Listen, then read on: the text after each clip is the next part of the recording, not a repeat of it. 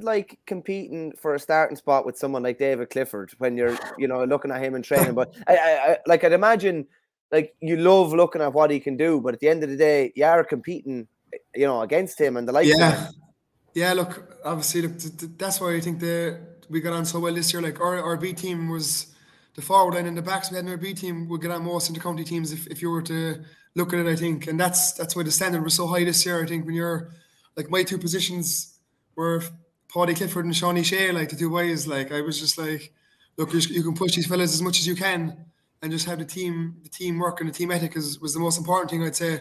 Looking in all year, but like when you're competing like Tony Brosnan, even competing with Paul Geaney, like you've Clifford there, you've Stephen O'Brien competing with Tony Brosnan, Killian Spillane, like just it was unbelievable. Like you've Dave Moore in the midfield with Jack Barry, Diarmuid O'Connor, Joe O'Connor, like it was just fellas were driving each other on. You should have seen the trainings were just out of this world. Like to be honest, the standard inside there and just the level of fitness, the level of skill, like that you needed to be on your game every week in week out.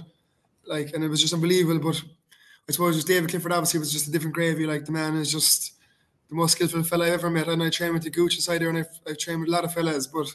Dave just he trumps them all like well, what he can do and what he has done at this tender age of whatever 23 or 24 another all another all star one and he's probably going to get player of the year this year and he's just he's so level headed. He's so committed. He's so naturally gifted. I think it's just it's a joy to watching the, the, the Kerry the Kerry public are in awe. I think, and he's he's as good as the Gooch, if not better. I think, and he I know he's only young yet, but he's so much ahead of me at 23, 24. Like he's exceptional.